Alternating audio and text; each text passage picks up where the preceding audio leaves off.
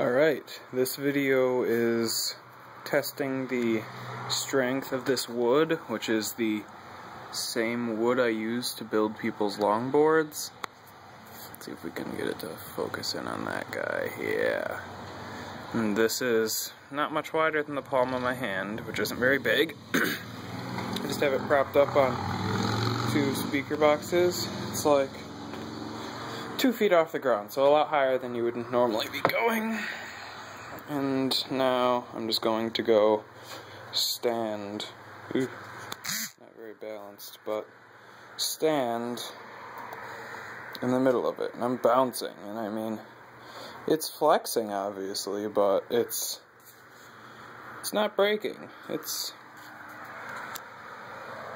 like, oh, okay, let's see if I can prop this up somewhere so you can kind of get the angle of this whole thing going on here.